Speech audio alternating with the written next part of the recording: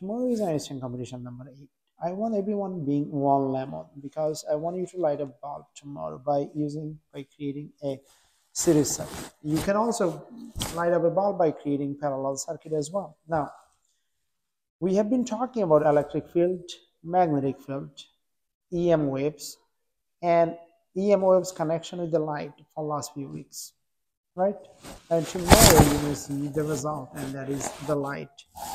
And um, we have been uh, uh, lighting up by using uh, voltage to move charges and moving charge create current and moving and current uh, we convert that electric energy to heat energy to uh, uh, to glow the filament which we human perceive as light right? Now let's see whether we can create the light using that concept. The concept came from who? Alessandro volta now, the lemon is a great source of electrolyte. So I'm going to use three lemons. That means I have three battery.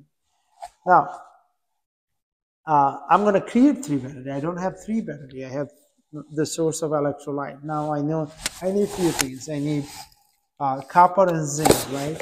The this is the copper and this is the zinc. The zinc has less demand for electrons. Copper has more demand for electrons because zinc has less electro um, electronegativity. Copper has more electronegativity. So I'm going to insert a copper on one end of the lemons and I'm going to insert a zinc on the other side of the lemon.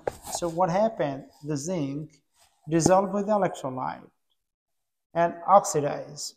How, how is that? Zinc lose electrons. It can, only can lose electron if you allow it to lose electron. So you have to create terminals between uh, zinc to copper, right? Now, if you create the terminal, all the all the electrons, some of the electrons are going to move to copper, making it positive terminal, making it negative terminal.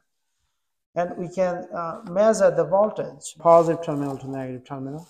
So I have now two terminal left. I have uh, negative terminal and positive terminal, and I'm going to see how much current it read how much voltage it is. Well, okay, so it should read some voltage. All right, it reads how much voltage? 2.87 voltage. Now it started reading voltage 2.87 and I have to light up a LED bulb. LED needs only 1.5 voltage. So I'm going to beam the LED. Uh, so where is the LED? So here's the LED. I have the LED. I'm going to light up the LED bulb. Okay, so I need two alligator clip. One is just from here. Okay. One is just from this positive terminal and this positive terminal goes to the long leg. Okay. It's going to go to the long leg.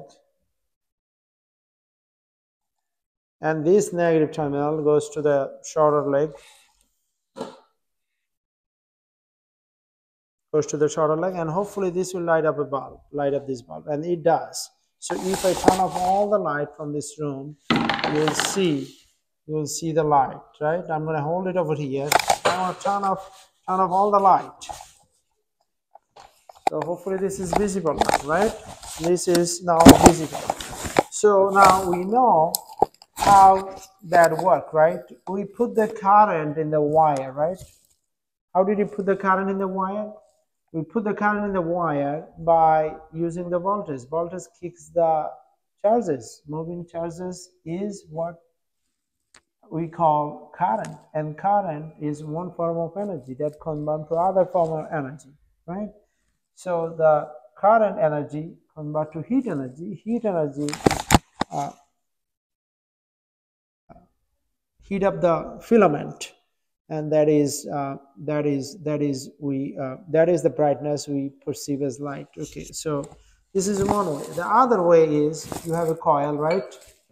And you take a magnet and you move in and out and you create emf which is induced uh, induced voltage. That induced voltage creates the induced current and that is defined by Faraday's law of induction with the Lenz law which is negative n flux over delta t.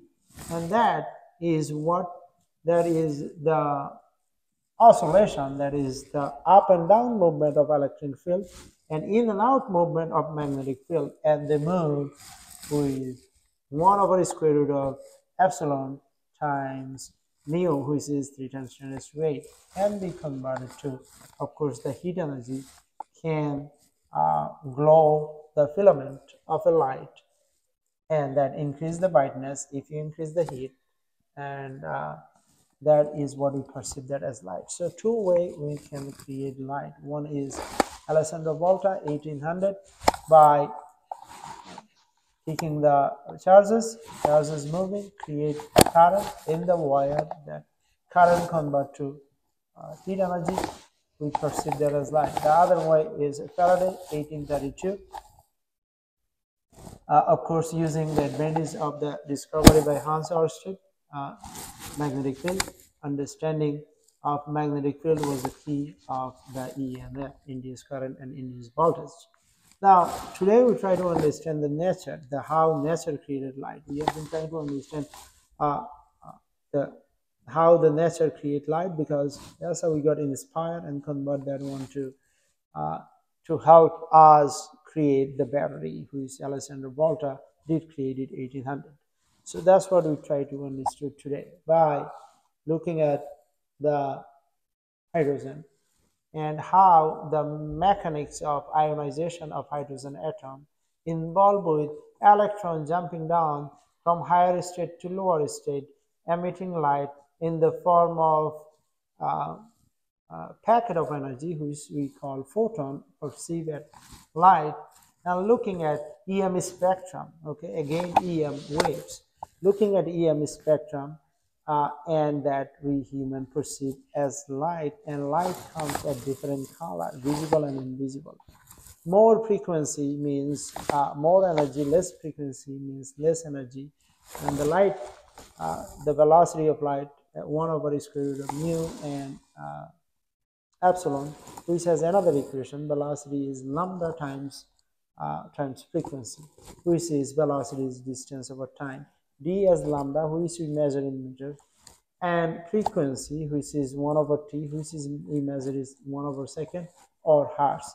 So velocity is lambda times frequency which is always constant in the vacuum 3 times 10 raised to 8 for example gamma ray which has the maximum energy because it has the highest frequency 10 raised to 21 hertz it has a minimum energy energy uh, it has a it has a minimum uh, uh, maximum energy but uh, but minimum wavelength, the wavelength is 10 raised to negative, negative 13. So negative 13, positive 21 is gives you 10 raised to 8. and 10 raised to 8, you cannot change this. So from, uh, from invisible, from the gamma ray to X-ray to, I don't know, uh, to um, something called ultraviolet to visible light. Visible light always 10 raised to 14 hertz. Uh, the infrared to uh, microwave to radio wave to long radio wave. So long radio wave is uh, the the lambda is 10 raised to 4. So what is frequency?